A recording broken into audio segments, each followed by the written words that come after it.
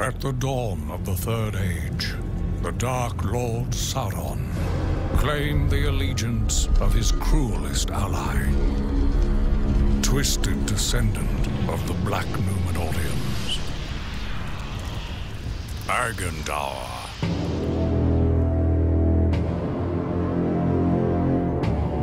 Now, this corrupted sorcerer plots an attack strike down Rivendell and join the forces of Sauron in their assault on Rohan and Gondor. Ranger of the North, Loremaster of Rivendell, Champion of Erebor. Together, you must go behind enemy lines and uncover his dark plans. Before all of Middle-earth is lost.